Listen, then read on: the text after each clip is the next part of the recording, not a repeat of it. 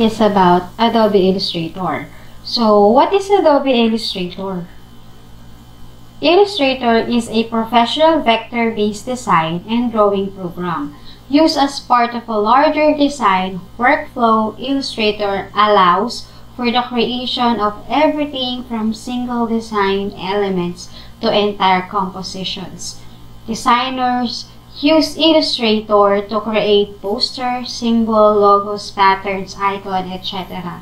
So, Adobe Illustrator po, ginagamit po siya sa pagde-design ng larger format.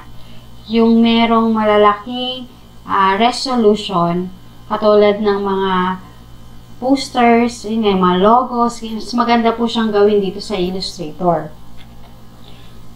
Ano yung pinagkaiba kapag ang ginagawa mo is nandun sa Adobe Photoshop compare dun sa gagawin mo sa Illustrator. So, yung mga ginagawa po natin sa Adobe Photoshop, ang tawag po sa mga image na yon ay raster graphics. Compare doon sa ating Illustrator ngayon, ang tawag po sa mga pictures na ginagawa niya ay vector graphics. What is the difference between the two? So, very simple lang po yan. Raster graphics, they are composed of pixel. While vector graphics, they are composed of path. Ano yung pinaka madaling explanation dyan sa dalawa na yan? Ito po yun. When we say raster, ito po siya. So, it is made by pixels. So, di ba po kapag sa images natin, uh, pag sinuzoom natin siya, nagkakaroon ng mga blocks na katulad nito. So, yun po yung pixel, lumalabo, kumbaga. And then, pag sinabi naman nating vector, kahit na gano'n mo siya i-zoom, palakihin, hindi po siya lalabo. Yun yung difference ng raster sa vector. So, ano yung mga file extension ng raster. Ito nga po yung bitmap, TIF, GIF, JPEG, and PNG. Then sa, sa vector graphics naman, SVG, EPS, PDF, yung AI, ito po yon Illustrator, DFX. Yan. So, kung gusto niyo po ng mas maganda at mas malinaw, mas mataas yung resolution ng images na gagawin nyo or yung mga graphics, mga, mga images, pwedeng-pwede po yung gawin sa Illustrator. Ito po yung sample ng mga pinagagawa ko sa mga estudyante ko sa Adobe Illustrator. Yan. They use to draw different images using Illustrator. Actually, shapes lang po gamit nila dyan. Ayan po. Even characters, uh, vehicles, and what is our objectives? Be familiar with the Adobe environment, understand the concept and use of Illustrator, create graphics and manipulate images using the different tools of Illustrator. Okay, so ito po yung environment niya. So, katulad lang din po siya actually ng Adobe Photoshop. Pati po yung tools niya usually, ganun lang din po ang gamit. Siyempre, pero meron din po siyang mga special use or function na magkaiba sila, pero more or less, they're just the same. Medyo ang ano lang po dito is yung kanilang pa uh, rasterize at yung vector image. Ayan po. So, we have the menu bar. And then we have the control palette. This one. Yung parang option bar sa Illustrator. And then we have the floating palette where we can find yung mga colors, brushes, symbols. Okay? Ruler. That is ruler po yan. We have the status bar. And then, of course, the toolbar. Yan yung mga gagamitin natin. And then, yung artboard. Katulad din po kanina, yung ating canvas sa Illustrator, and then dito po is artboard ang tawag. Alright, here we go. This is Adobe Illustrator. So, just like the Adobe Photoshop, So, kung meron na po tayong bagong gagawin, create new. Pag meron, open. So, dahil mag-open pa lang tayo ng bago, let's click create. Para makagawa tayo ng new artboard. Okay, so, pag na-click na po natin yung new, may makikita po ulit tayo dito na mga sizes ng canvas or nung artboard. Ayan, we have letter, okay, then A4, meron din po tayo na pwede tayong mag-customize. Kung uh, maglalagay po tayo dito sa untitled ng ating uh, file names. Say for example, sample na lang po ulit, sample EAI. And then, yung shape or yung size natin, gawin na lang din po natin na letter size. It doesn't matter kung ano naman po yung size nyo. Bahala po kayo. And then, dito po orientation. We have the portrait, landscape. And kainibahan po din dito, pwede po kayong magdalawang artboard, tatlong artboard. Ayan. Then, dito po sa more setting, wala na po tayo. Uh, siya po ay MYK na. Okay po? And then, after that, create. Ayan. Ito na po yung environment ng ating Adobe Illustrator. Ito po yung mga tools niya. So, ito lang din po yung menu bar, yung control palette, and then yung kanyang mga floating palette nandito. Meron din po siyang layers. Ayan. So, meron din po siyang layers. So, gamitin po natin yan later. We have the swatches, yung mga color po na pwede nating magamit. And then, we have the brushes. Okay. And then, symbols. Yan. Pwede po tayong gumamit ng symbols or mag-insert po kayo ng symbols kung mag gusto nyong gumamit. Okay, we have the color. We have the color guide. And then the characters. Magta-type po tayo. Yan. And then we have the artboard. Okay, dito po tayo sa tools. Okay, anyway po, dito po muna tayo sa control palette. Okay, so sa control palette naman po, andito yung mga, pag pinindot nyo po kasi yung mga tools na yan, meron po silang control palette dito sa taas. Meron pa po siyang pwedeng gawing ibang function. Okay. Say for example, ito po ay selection tool. Yan, yung selection tool natin. So, ano ba yung gamit ng selection tool? So, just like Adobe Photoshop po, yung selection tool po ay ginagamit po siya pang select dun sa object at pang galaw, pang move. Parang move tool po siya. So, let's have an example. Maglagay po tayo ng picture dito sa ating artboard. Katulad lang din po ang gagawin. File, Pwede po kayong mag-open or mag-place. Para nandun na po siya sa loob ng artboard. Place and then, say for example, ay hanap tayo this one. Okay. Nakita niyo po kung gaano siya kaliit? Ayun. Lalaki po siya kapag inilagay na natin dito. Ibig sabihin, malaki po yung resolution niya. And take note po, kapag po gagamit tayo or maglalagay tayo ng picture, make sure po ay nasa loob siya ng artboard. Kasi say for example, nakaganyan po siya. Pag ipiprint natin, hindi po masasama yung nasa labas ng artboard. So, pwede po natin siyang i-resize. Dito po, Kapag ni-resize po natin siya, mare-resize siya talaga, made-deform. Ano po yung pwede natin gawin para ma-maintain yung size niya? Ang pipindutin nyo lang po is yung shift key sa keyboard.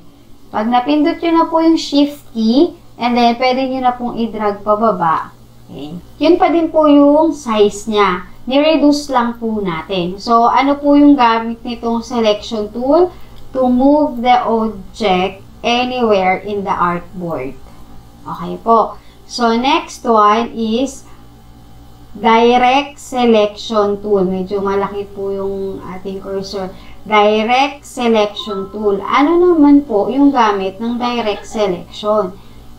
Kapag po ginamit natin yung direct selection, okay, pwede po nating i-deform itong ating image. Okay, para mas makita po natin, gamit po tayo ng shape. Ito po yung shape niya. Ayan, ellipse yung lumabas. Pag right click po natin yan, katulad sa Photoshop, dahil meron po siya ditong arrow down, right click, meron pa po siyang iba, ibang klaseng shape. So, say for example, mag-rectangle po tayo. Pag click nyo yung rectangle, and then drag nyo yung mouse, okay, magkakaroon po tayo ng rectangle.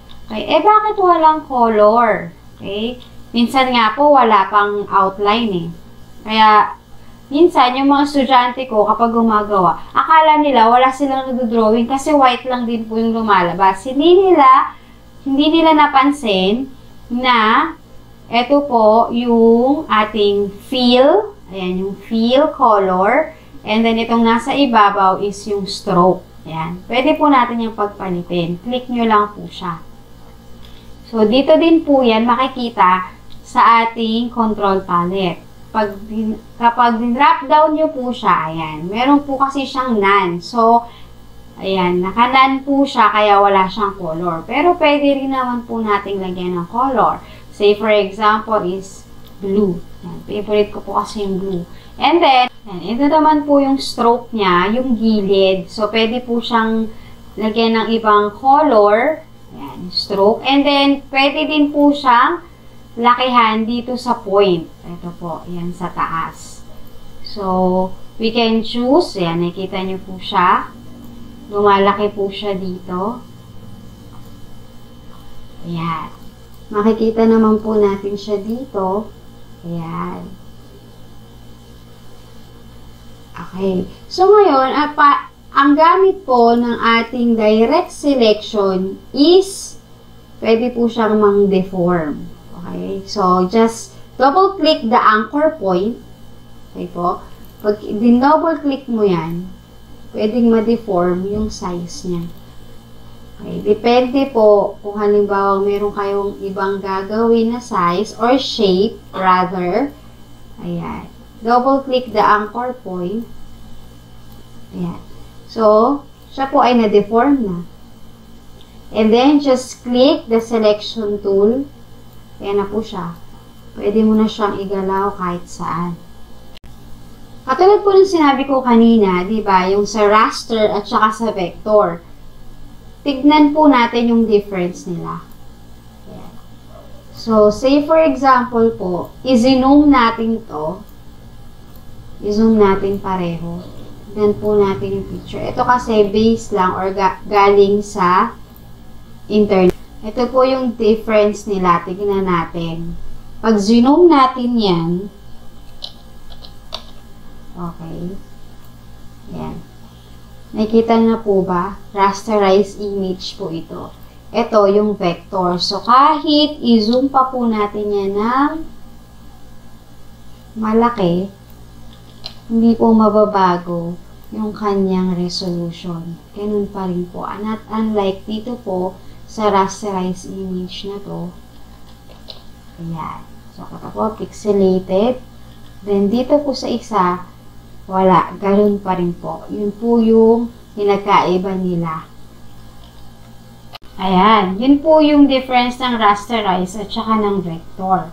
Next naman po is yung punta din po tayo ulit sa shapes. Ayan. You can choose different shapes here. Rectangle. Pag dinrag nyo po siya, ayan. So, bakit siya may color? Tanggalin lang po natin to Baba natin. Okay, bakit siya may color? Kasi po, meron ng color yung feel dito. So, pag sabi natin yung feel, yung solid color dito sa shapes mo or sa object. Then, yung nasa baba is yung stroke. Pag sa stroke naman po, eto siya. Kapag meron siyang uh, red na mark doon, ibig sabihin, none. wala siyang stroke. But then, pag naglagay po tayo ng stroke, mamili po tayo ng color. Ayan. So, medyo nakikita na po yung yellow. Kung gusto pong mas malaki, ulitin ko po dito po sa stroke weight or dun sa point. Just click nyo po siya and then choose. Ayun na po yung kanyang stroke. And another one, punta po tayo dito sa direct selection. Pag pinindot niya po yan, di ba sabi ko kanina, pwede siyang ma-deform. So, ano ang gamit nitong nasa baba ng anchor point? Pag kinlik po natin yan, gamit yung direct, direct selection, pag kinlik natin siya yan, pwede siyang maging rounded rectangle. Depende kung gaano ka-rounded yung gusto nyo. Kasi pwede po yung gamitin, limbawa po, pag gumagawa kami ng mga characters ng students ko, ganyan po yung ginagawa nila. Gagawa po kami ng rounded rectangle, ayan na po yung face nila. Pwede din naman po kung gusto ninyo, isa-isa dun sa mga parts niya or dun sa mga corner.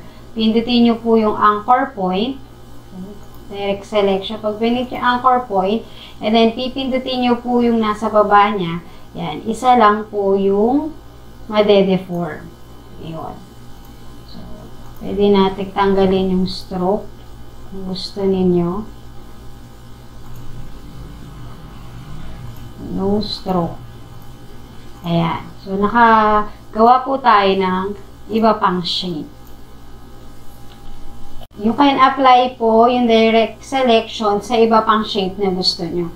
Ayan, you can explore po. Next po is yung brush or yung paint brush tool. Ayan.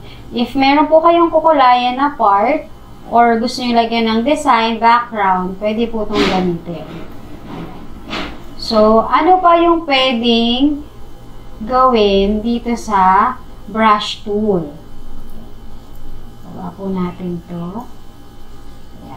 So, di ba po ito yung brush tool na nilagay natin. So, pwede po yung palitan. Kaya lang, make sure po Tignan nyo po dito sa fill at sa stroke kung nasaan siya. Kung siya ba ay fill or stroke. So, dito, naka-stroke po siya. Ayan, pag pinindot natin stroke. Pag pinindot naman natin yung fill, ayun, ayun lang siya. So, ayan, palitan. And then, pwede po nating ibahin yung kanyang brush definition. See, for example po, ayan, this one, ayan, pwede po nyo yung gamitin. Kung usually po, pag magde-design po tayo, Pindutin po natin to. Okay. Yung divider, tawag sa kanya. And then, paintbrush tool. Ayun. Susunod po siya. Yun ang magiging shape niya.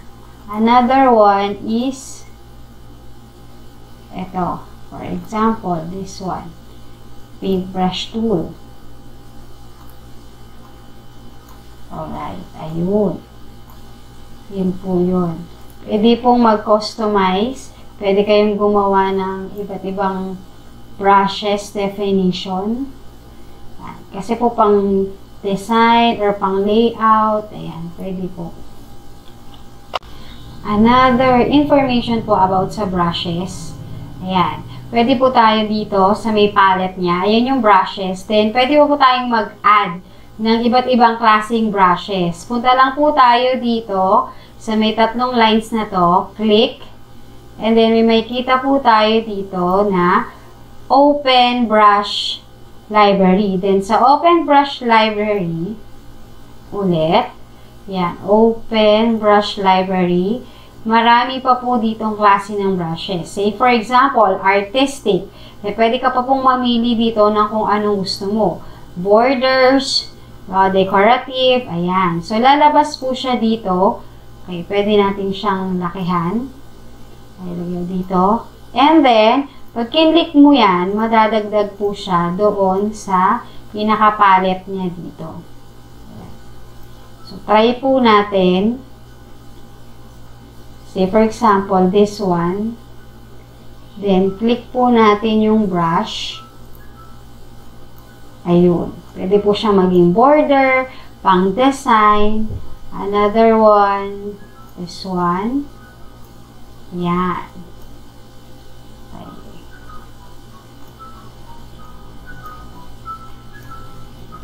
Yan. Yan. Mga, pwede pong mga borders itong mga to. Next po. Isa pa. Kuha pa po tayo ng mag-open pa tayo. Okay. Pwede din po vector packs. Tignan natin kung ano yung nandito. Yan. Vector. Yun. Para siyang lifeline. Another one, open brush library. Artistic. Bristle brush. Borders. Artistic. Watercolor. Ayan, iba-ibang klase. Another one. Decorative. Scatter banners. Ayan. So, ito po, example. Nalagay tayo ng banner dun sa ating design or layout. Kung ano po yung kung ano yung line na nilagay nyo, yun po yung mangyayari. Or yun yung susundin ng brush. Ayan. So, pwede na, siya, pwede na kayong mag-layout or decorate. Alright. Then, okay. Tanggalin po muna natin. Pag magbubura po kayo, very simple lang. Pindutin nyo lang po yung selection tool. Select yung object na buburahin. Then, delete lang po sa keyboard. Kung gusto nyo po sabay-sabay, pwede nyo pong i-drag yung mouse. Ayan. So, lahat po sila masiselect na. And then, delete. Ayan. Alright po. Alright, next po natin is yung dito tayo sa pen tool. Ito, usual po, di ba sabi ko, ito yung ginagamit ko sa pangkras sa Photoshop. So, pwede din po dito, ganun lang din po yung gamit niya sa Illustrator. Dito, pwede nyo rin po siyang gamitin kung magdo-drawing tayo. Yan. So, paano natin maaayos yung drawing? Ganun lang din po, katulad dun sa ating Illustrator. Photoshop rather, click nyo lang po yung gitna. Then, click nyo din po yung Alt doon sa ating keyboard. Yan, wawala na po yung isang uh, line niya. Then, pwede na tayong pumunta dito sa kabila. And then, shape. Ayan. Ano po kaya yung drawing ko na yan? Dahon lang po yan. Okay, dahon. Okay, so, isinape po natin siya. Then, pagtapos na, selection tool. Ayan. Pwede na natin siyang i-drag kung natin yung gusto. And then, pwede natin ibahin yung kanyang color. Dahil lift siya. Ayan. So, meron siyang stroke. Ayan. Pwedeng ibahin natin. Ayan. Pwede natin lagyan ng color na ganyan. Ayan. Ito po yung gradient. Pero pwede din tayong mag-change ng gradient using this one. Gradient.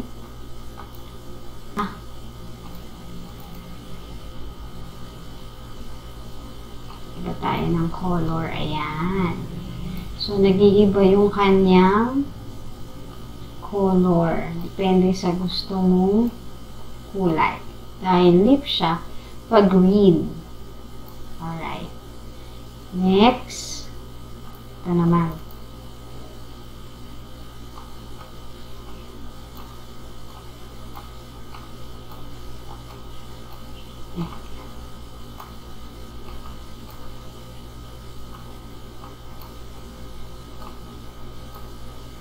Depende po sa gusto nyong kulay. Pwede din po kayo dito pumili. Ayan. Dahil green. Dito naman, dahil orange siya, pwede rin po kayong pumili. Ayan. Yung red. Then yung CMYK niya, kung gaano ka-intense yung color. Ayan. Okay. Then, pwede nyo rin po siyang i-rotate.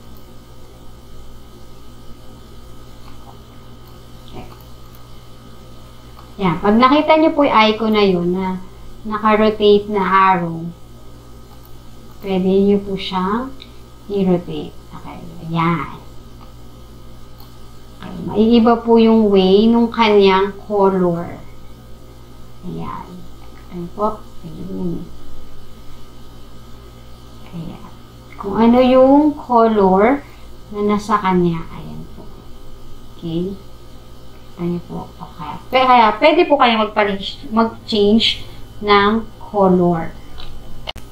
There you go. Okay. So, yun po. Another use of pen tool is yung magka-crop. Katulad po nung pinakita ko sa Photoshop. Another one is tracing. Ano naman po yung sa tracing? So, di ba po, minsan, may mga images tayo na kinukuha sa internet, malabo. Halimbawa, ayan, katulad po nito. Tanggalin po nga natin to. Ayan. Kita natin. Ayan. Tanggalin muna natin siya. So, ito po, di ba, ang labo. Eh, kailangan mo siya or yun yung mismong picture na kailangan mo. Or kung gusto mo, i-edit mo siya, pero yun yung mismong image na kailangan natin. Pwede natin siyang gawing tracing tool, yung ating pen tool, para luminaw yung image na gusto mong gamitin dun sa gagawin mong uh, project or kung ano man yung gusto mong i-edit. Alright, so magsasample po ako sa inyo uh, para magamit nyo po if ever na kailanganin nyo. Pwede, pwede nyo pong gawin dito sa Illustrator. Okay. Pwede na po kayong mag-download ng Illustrator or manghingi po kayo sa mga, tanong niyo po sa mga ICT coordinator nyo kasi po kami sa Division of Bulacan, binigyan po kami ng license ng mga sa mga ICT core po. Ayan. So, pwede po din kayong mag-ask sa kanila ng help kung meron sila. Kahit mga uh, mababang version, okay na rin po yun. Okay, burahin po natin itong mga ito. Yan. So, say for example po, this one. Yan. I-zoom po natin siya. Control plus lang po pag magsuzoom kayo. Yan. Control plus. Paano natin siya iti-trace? So, pa, do-drawing lang po natin siya. Okay, i-drawing lang po natin to. Alright? Okay. So, meron din po siyang layers ha dito. Okay. So, magdo-drawing lang po tayo. Ititrace natin kung ano yung shape nito. So, A, dahil malabo siya, gagawa tayo ng maninaw na isa. Click natin yung pen tool. And then, para lang po tayo nagtitrace ng mga bata. So, madali lang naman po kapag straight, straight line lang. Eh. Ayun, nakita nyo po ba, merong stroke. Kasi nakapindot po dito, ayan, may stroke siya. Pag wala po, di ba yung kanina, yung white na may red na mark. So, okay lang po yan para mamaya magagalaw natin. And then, another one. So, ayan, nagkaroon po siya ng color. Kasi meron po siya ditong gradient. So, paano po natin tatanggalin yan? Makikita naman po natin dito sa taas. Ayan. So, click natin and then click nyo lang po yung none. Ayan. Automatic, mawawala na po siya. And another one is, ito pa po, dito sa color na to, katabi ng color guide, pwede din nyo po itong i-click. Okay, then, tuloy lang po. Tingnan natin. Kung mag-pass, pwedeng mag-undo, control Z. And then, balik po tayo dito. Ayan non-fill. Shape lang po natin siya. Ito, medyo naka-curve po. So, gagalawin natin yung mouse para mag-curve siya. Alright. So, paano po gagawin? Dahil meron na uli ditong isang point or line. Ganun lang po sa sinabi ko. Click nyo yung Alt and then click nyo yung gitnang anchor. Ayan. So, next.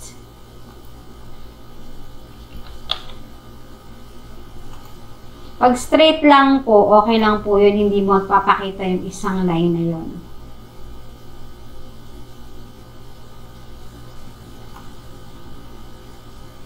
So, siya ay nakabend. Bibend po natin ng konti para makuha natin yung shape niya. Okay. Next. Hindi mo po siya pwedeng ituloy-tuloy kasi magkahiwalay po sila ng image. Okay? Ang gagawin po, click nyo lang po uli ito, selection tool, then meron na po yan. Next po, click nyo uli yung pen tool para ito naman yung ating ititrace. Ganun lang din po. Ulitin lang ninyo yung procedure.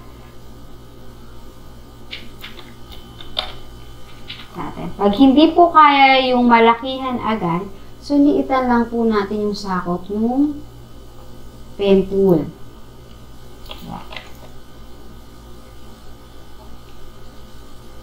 Sa taas. Shape. Okay. Alt, click, and then shape. Pen tool lang po ang gamit ko. Kiniklik ko lang po yung alt para mabura or mawala yung isang line para makapag-proceed po ako sa another tracing. Ayan. Pag straight line po, walang problema dahil tuloy-tuloy lang po yung tracing niya. Ayan. Pag tumataas po, okay lang po yan.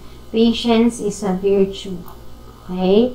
Click lang po ulit yung alt and then click nyo yung mouse para dun sa gitna, and then yan. Mag-aabot na po yan. Pag nag-abot na sila, click nyo lang po itong selection tool uli, and then pwede nyo na siyang i-choose. Ayun. Okay, then, lagyan po natin ng color, ibang color, or color blue na rin. Okay? Next, ito naman po ang i-choose natin. Yung pangalawa. Ayan. Lagyan natin ng gray. Yun. Dark gray. Pa. Ayan. So,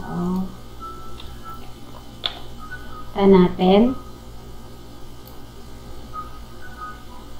Tignan natin kung kapareho.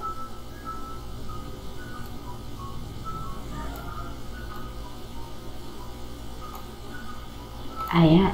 So, ayan po siya. Pwede natanggalin yung stroke niya. Parang kita-kita natin yung image na tinrace natin. Okay. None. Okay. So, ayan po. Tignan po natin yung difference nila ha. Kapag zoom natin. Ayan. Dito kita na po agad na nag-pixelate na yung isang picture na zoom natin. Pero dito, ayan, malinaw pa rin yung ating ginawang trace picture. Ayan. So, siya malabo ito. Ganun pa rin. Okay po? Diba? Pwede ka na magpalinaw ng picture. Or yung mga simpleng shape po. Bawa naman po, may drawing ka. So, gagawin mong digital yung ginawa mong manual drawing. So, paano po ang gagawin natin doon? Okay? Pakita ko po sa inyo. Minimize natin to. File. Open. Meron po ako ditong sample. Ayun, yung bola. Ayan. Sa bola, ayan. Nalagay lang po natin siya sa loob ng artboard. Ayan. Ito po.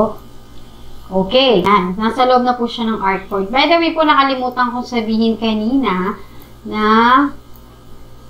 lagyan po natin ng another layer para hindi po natin magalaw tong isa. So, paano po natin lalagyan ng another layer? Punta lang po ulit tayo dito sa baba. Meron dyan create new layer. Okay. And then, mapupunta po dito. Ayan, may layer na siya na bago. Okay. So, ito po siya. Kapag pinindot po natin to, yan, malalak siya. And then, eto, yan. So, meron din siyang eyes. Pag tinanggal natin to, ayan, mawawala po yung image natin. Balik natin. Then, yung isa naman, yan, mawala din po yan. Hindi lang na siya makita kasi white lang po yan eh. Okay, then dito, Ayan, paano natin siya iti-trace? So, dahil bilog siya, pwede po tayong gumamit ng shape. Okay? So, dito po tayo sa shape tool. Ellipse ang gagamitin natin. Okay, para hindi mag-deform, shift, pindutin niyo po yung shift sa keyboard and then drag. Ayan. So, yun. Selection tool, lagay natin siya dito sa gitna. Eh, paano yun? Natakpan siya. So, ano pong gagawin? Tanggalin po natin yung fill. Ayan. Tanggalin fill, ayan na siya. So, pwede na siyang likitan ng konti para magsakto dun sa bola. And then, ayan po. Okay, lagyan natin ng stroke para makita natin mamaya. Okay, punta lang po tayo dito. Pag if ever po na hindi nyo makita dito, Huwag po kayong maiinis or, hala, nasa na yun? Okay, ganyan po kasi estudyante ko, bigla akong tatawagin. Okay, punta lang po kayo dito sa color. Okay, ayan. So, fill siya. Punta tayo dito sa baba, stroke. Black. Okay na po yan. Tanggalin lang uli natin yung fill. None. Okay. Then, yung stroke po niya, laki na natin ng konti. 4. Okay. Yan. So, ngayon, gamitan na po natin siya uli ng pen tool. Ayan, pen tool. So, ititrace nyo lang po siya. Okay. Ganun lang din po sa ginawa. Yan. Automatic na po siya. Meron na siyang stroke. Kasi yun na po yung nilagay natin kanina. Okay. Pagtapos na, selection tool. Next, pag gagawa uli, pen tool. Yan.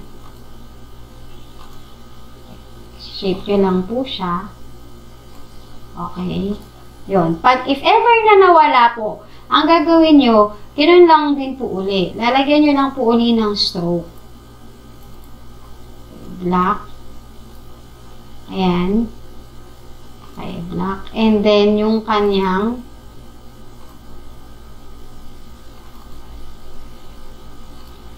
four. Yan. Okay, next. Ganun lang po uli.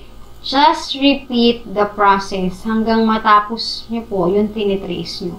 Pwede din po ito sa logo. Yan.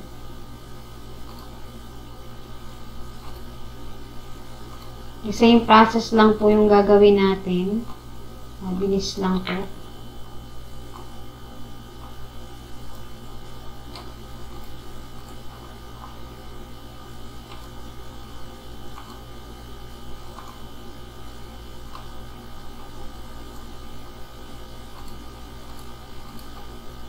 Ano po tayo?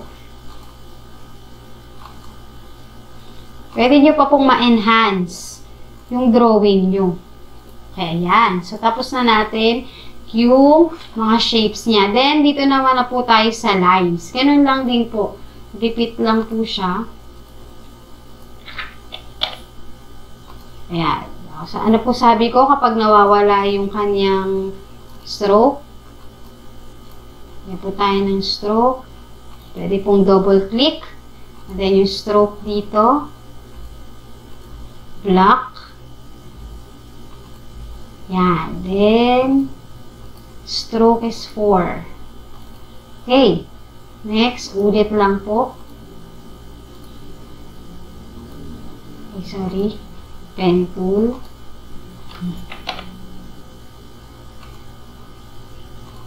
Okay. Selection. Ulit. Repeat-repeat lang po yung process. Hanggang sa matapos niyo po yung gusto nyong i-trace. Ayan. Alright. So, ano pa pong kulang? Diba? Dark na yung shapes nito. So, lalagyan na po natin siya ng fill. Lahat ng may dark na color. Okay. Ay, sorry po. Yan. Black. And then, ito ay black. Next. Black. Click nyo lang po yung object na nilagyan nyo, na, lalagyan nyo ng color. Ayan. Okay na po. Ngayon, tignan natin kung gumanda ba yung ating tinrace. Okay, make sure po nakapindot yung, kina, yung inad natin na layer para dun po nalalagay yung image natin. And then, kapag kinlik po natin ito, mawawala po yung image na to and then ang matitira lang po is itong ating uh, thin rays. For example, so sabi mo po, kanina gumawa tayo ng isang layer. Okay, so ayun po, makikita nyo, kailangan nakapindot po doon para doon malalagay yung ating thin rays. Ngayon, pag tinanggal po natin, okay, yung eyes nito, okay, mawawala po siya. At ang matitira is yung layer na ginawa natin. So, ngayon po, itong layer na to, hindi po yan magkakasama. Magkakahiwalay po yan. So, syempre, kailangan mo na isang image, anong gagawin mo? Iko-group po natin siya. Okay? So, drag mo lang po siya pababa. Ayan. So, masaselect na po siya lahat. May kita naman po ninyo na naka-red na siya lahat. Then, right-click, group. Pag nag-group na po siya, ayan. Magsasama-sama na siya and hindi na siya maghihiwalay. Pwede naman po, libawa, nagkamali kayo. Pwede nyo po siyang i-ungroup. Right-click and then ungroup. Yan. Maghihiwalay-hiwalay na po uli yan. Okay, paano po uli? Ungroup lang po natin kung gusto natin ha. Yan, kakasama na sila. Pwede na po natin i-resize, lakihan, digitan, ayan. Pwede nyo rin pong i-copy, katulad po kanina sa Photoshop, paano tayo nag-copy? Yan, alt lang po and then drag. Yan, marami ka ng kopya ng iyong image. And pag yan po zoom natin, yan, hindi po siya mag pipixelate. Okay.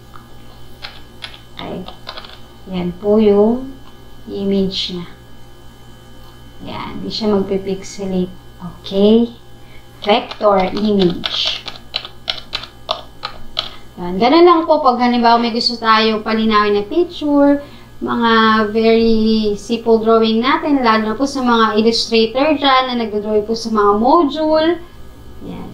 So, pwede natin gamitin at itry yung Illustrator.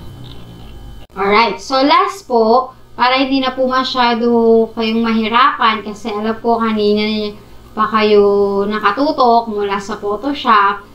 Kaya very simple na lang po yung itinuturo ko dito sa Illustrator. Anyway, pwede nyo naman po siyang pag-aralan, i-explore, and pwede nyo din pong balik-balikan yung video na to if ever. Okay. So, next po is yung ating type tool. So, sa type tool po, ganun lang din po siya. So, kung magta-type ka,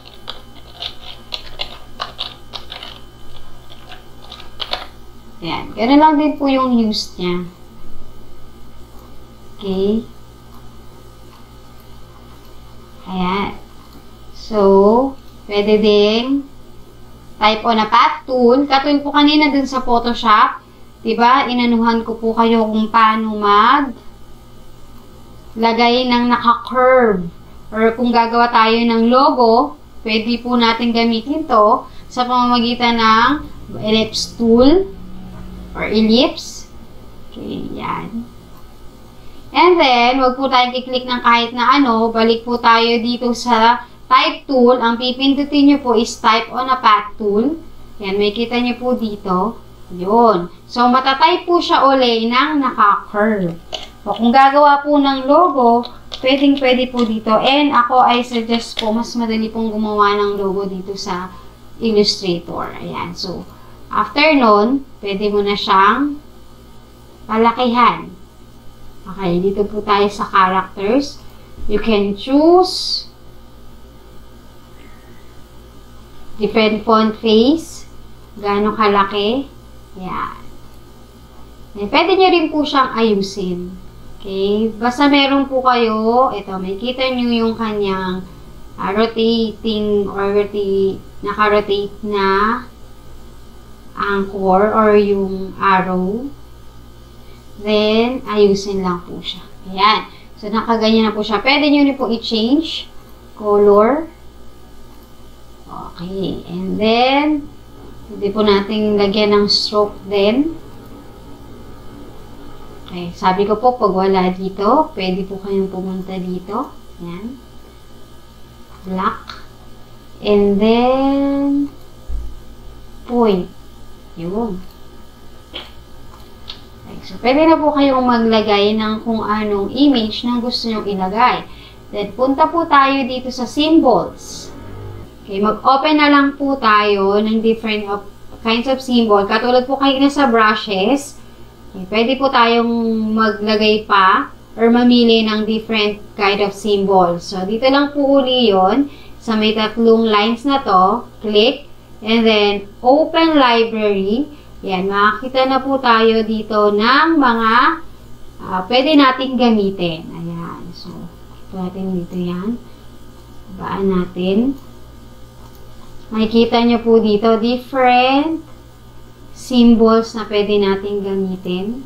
Ayan symbols. Say, for example, 3B, bahay. So, paano nyo po maililipat dito? Say, for example, all you have to do is to drag.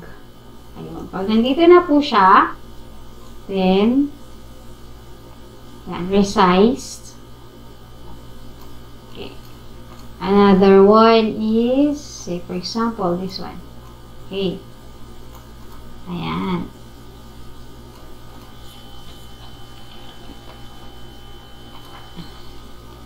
Kaya po natin ng ellipse, for example. Okay.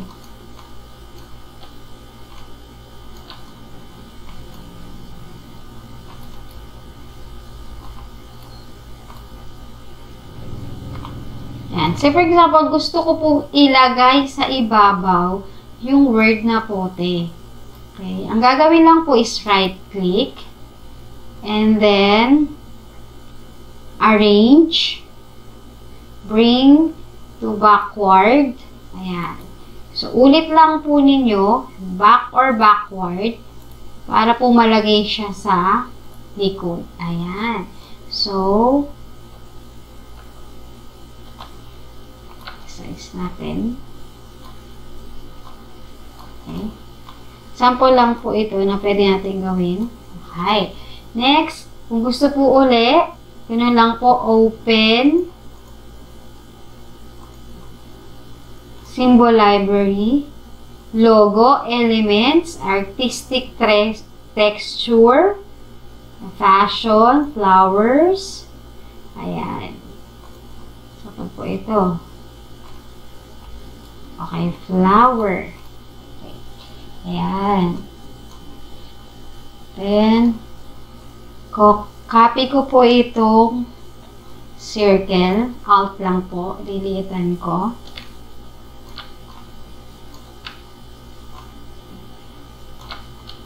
And then, fill. Okay. Ang ko to.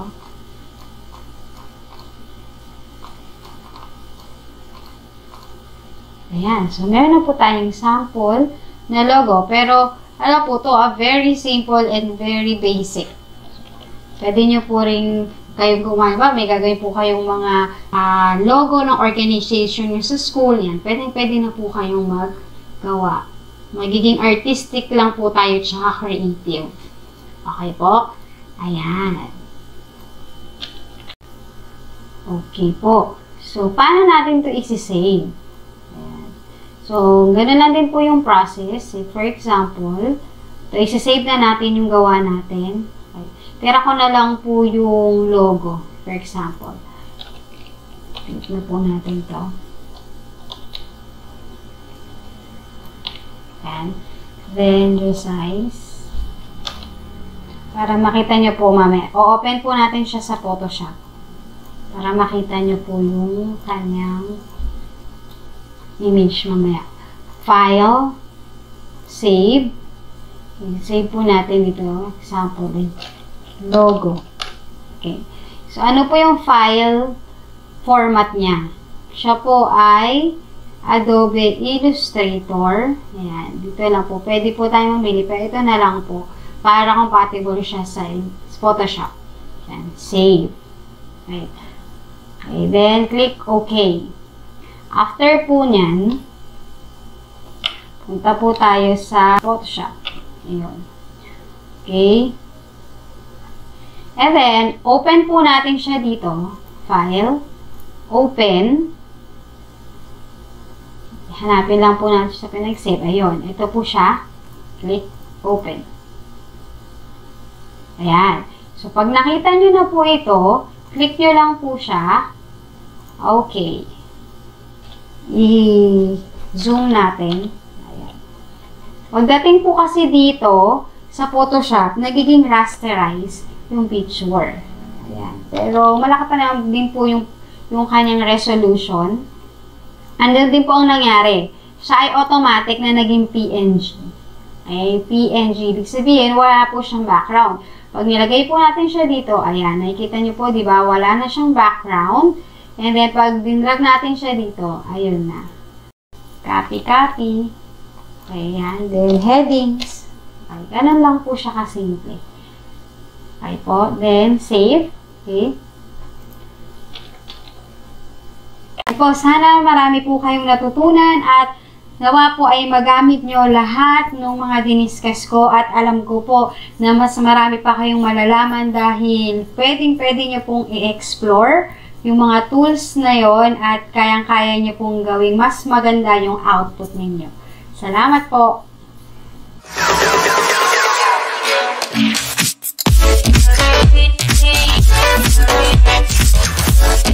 Thank.